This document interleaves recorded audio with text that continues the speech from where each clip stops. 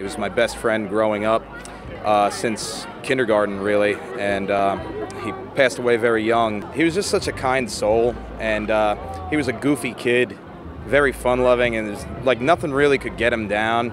Me and Matt had a fight for a very long time where we didn't like each other, and towards the end of his life, we rekindled a little bit about that. And what I learned from not being around him is that I was very scared within myself and I feel like when we reconnected, it came back and it gave me the, the, the inner strength to become my own person and fit my own body and my own personality. One thing I always wish is that I, if I got to hang out with him just one more time, just to experience and have him make fun of me and me make fun of him and just pal around and, you know, just do what we were always meant to do. My name is Weston, and I'm one of the lucky ones.